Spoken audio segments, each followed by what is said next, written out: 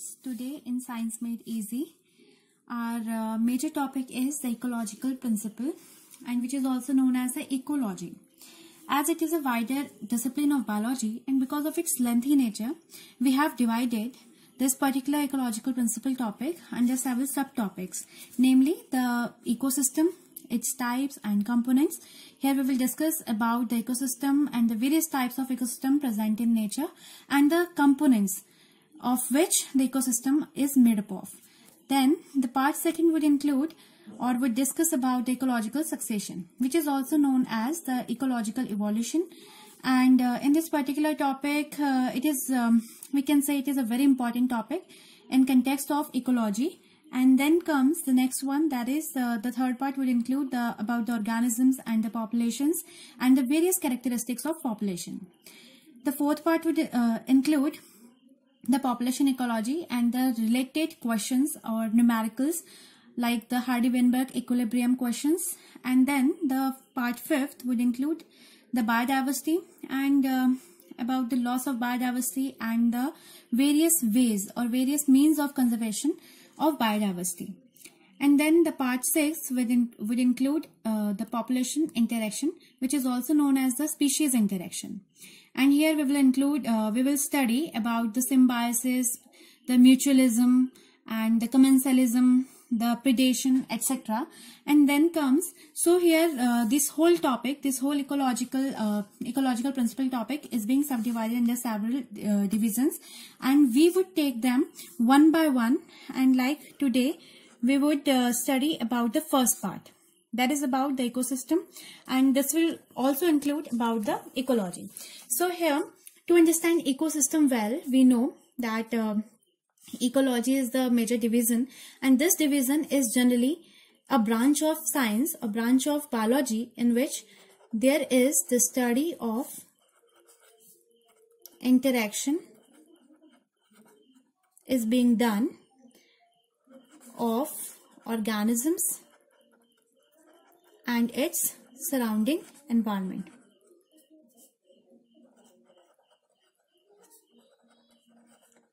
and its surrounding environment. So here this is generally the interactive study of the organism with its surrounding environment.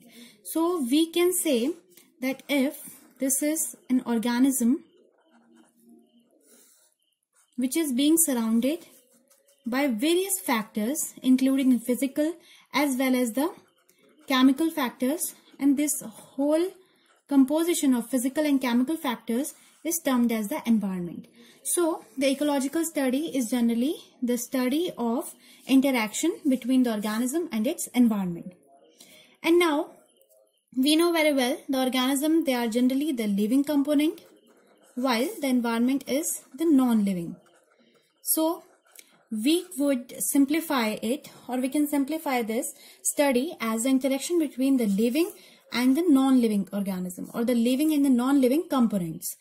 Then this living component in biology we can call it like biotic component and non-living as the abiotic component. So this would also be known as the interaction between the biotic and the abiotic components of the nature. So now ecology as it is a major discipline and is being subdivided in various types or various kinds of ecology.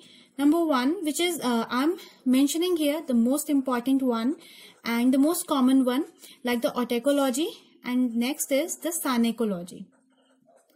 So, these are the major subdivisions of ecology or ecological studies. Here in autecology, there is the study of population and organism. When the ecological study is done at the level of population and organisms, then it is termed as the autecology. While as the study of ecology or ecological study is done at the community level, then it is termed as the synecology. So these are the major disciplines of the ecology. And here, the, uh, the various accessory ecological disciplines are also there like the landscape ecology, including the large uh, geographical area of any region, and also the behavioral ecology, including the behavior science, as well as the global ecology. And we can say or we can conclude that the whole uh, categorization of this ecology is on the basis of the level at which the study is done. Like uh, like first of all that is the ultimate thing of this study like molecular if the study is being done under the molecule level then it is termed as the molecular ecology and if the study is done at the level of organism then it is termed as the organism ecology. If it is done at the level of population, then it is termed as population ecology. If done at the level of community, then it is termed as the community uh, ecology. If it is done at the level of the at the level of the landscape, then it is termed as a landscape ecology. And if termed or if the study is being done under global level, then it is termed as a global ecology. So it is uh, wholly dependent on the level of the on the level of complexity. Here the complexity is uh, uh, is range from the very small to a very large that is from the molecule to the global one and so that the whole study or the whole categorization of ecology is on the basis of the level of study and there may be other levels of study also like if the, it is done at the level of the grassland then it, it would be termed as a grassland ecology. Now, here the next one that is the ecosystem and its types. Now the ecosystem may be of two types. That is the natural ecosystem and the man-made ecosystem.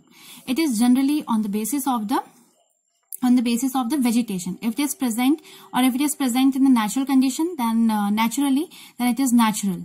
Like the natural is again is of two type. That is a terrestrial ecosystem and the aquatic ecosystem.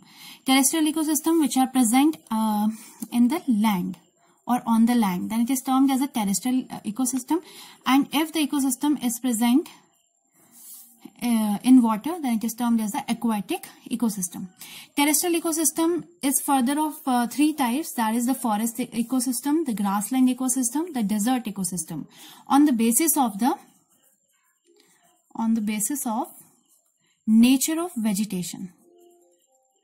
Nature of vegetation. So nature of uh, so uh, according to the nature of vegetation, the terrestrial ecosystem may be a forest ecosystem, grassland, or the desert ecosystem. Now the aquatic ecosystem may be of uh, three type that is the marine ecosystem, the brackish ecosystem, and the freshwater ecosystem according to the salinity. So here the basis of classification is generally the salinity of water. And here for the the freshwater eco uh, ecosystem may be of two types that is the lentic ecosystem or the lotic ecosystem and this is on the basis of the flow of water according to the flow of water. And here in case of lentic ecosystem here is the still water condition. So it is known as uh, uh, uh and we have an example of the lake ecosystem. And here the free flowing water so this is known as a lotic ecosystem. Now in short we have the other one that is the ecosystem and its component. According to the living nature or the non-living nature of the components, the ecosystem is made up of two components that is the bio abiotic and the biotic. That is a non-living including the physical and the chemical nature. Physical like the temperature, the light,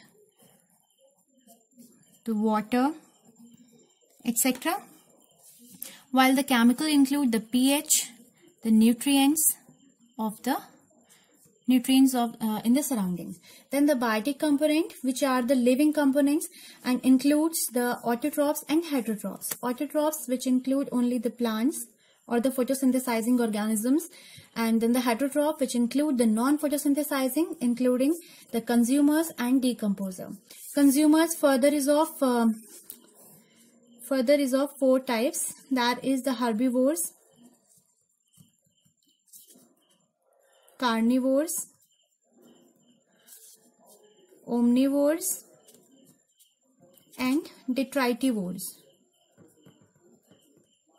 Herbivores which feed over the herbs carnivores which feed over the flesh of animal and omnivores which feeds over the both herbs and uh, flesh and detritivores which feeds over matter.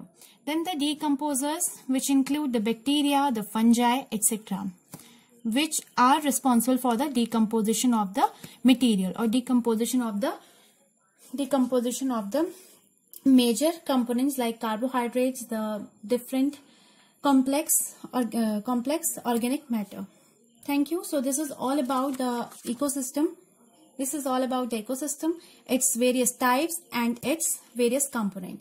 And in this, uh, in the next video, we will uh, discuss about the ecological succession. Thank you.